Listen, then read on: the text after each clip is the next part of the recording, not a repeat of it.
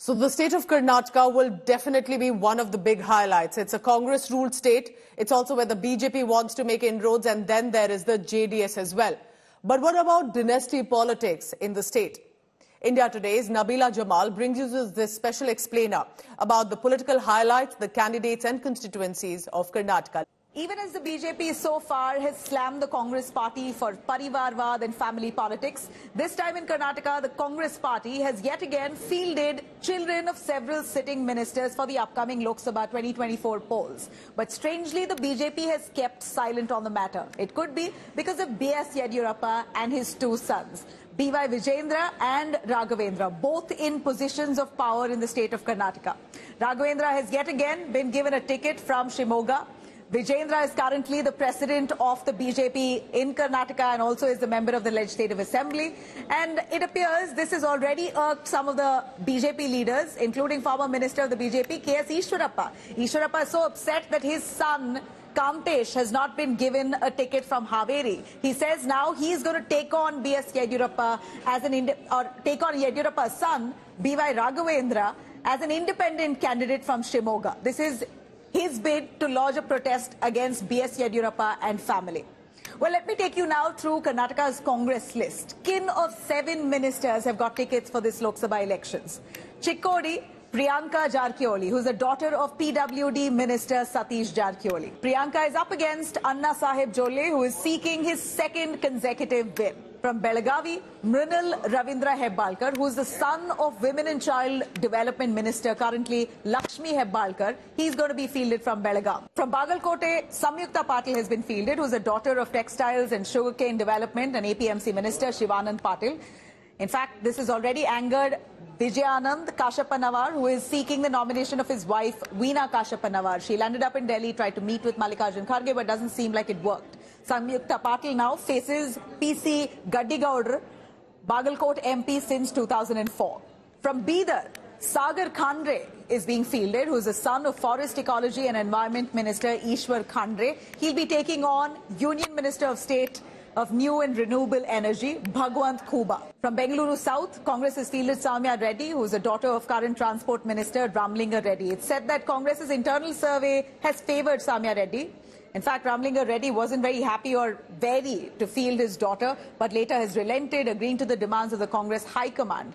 In 2019 Lok Sabha elections, the Congress had fielded veteran B.K. Hari Prasad from there against Tejasvi Surya, who lost by 3.3 lakh votes. From Davangere, Prabha Mallikarjun has been fielded, the wife of Mines and Geology and Horticulture Minister S.S. Mallikarjun. Prabha is also the daughter-in-law of veteran Congress leader and Davangere South MLA Shamanur Shivshankarappa. Davangere Lok Sabha constituency comprises of eight assembly segments and is dominated by the Veerashaiva Lingayat community.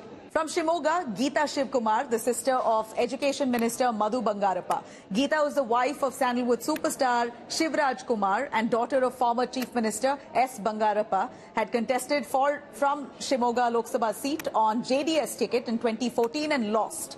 A group of people in the Congress, including Madhu Bangarappa, are said to have been in favor of fielding Geeta Shivraj Kumar again uh, in this upcoming elections. Now, it appears due to shortage of candidates, the Congress has also fielded relatives of some of the senior leaders, like Radhakrishna Doddamani from Kalaburgi. He is the son-in-law of Congress President Mallikarjun Kharge.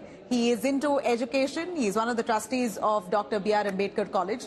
In fact, the native of Gulbarga. He was initially reluctant to contest, but eventually agreed.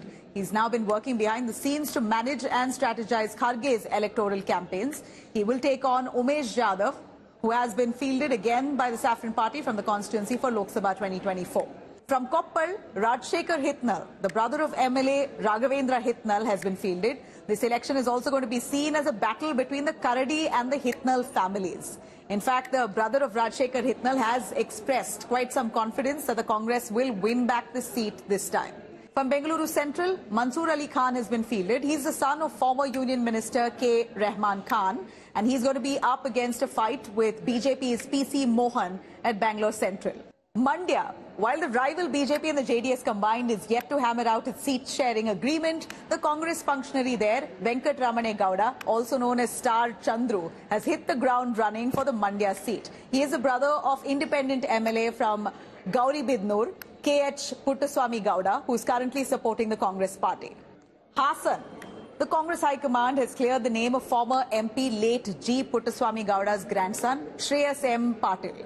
He is likely to go up against former Prime Minister H.D. Deve Gowda's grandson and incumbent MP Prajwal Revanna. This will be quite an interesting battle there, given that Puttaswamy Gowda had defeated Deve Gowda in 1999 Lok Sabha elections. Also worth noting here is that Shreyas missed winning Hole Narsipura Assembly seat in May 2023 polls by quite a whisker. While speaking about JDS itself, which is now an ally of the BJP in Karnataka, HD Kumaraswamy and Deve Gowda are pushing for their own science. Prajwal Revanna, the grandson of Deve Gowda, and Nikhil Kumaraswamy, both names have been proposed by the JDS to get a seat in Karnataka.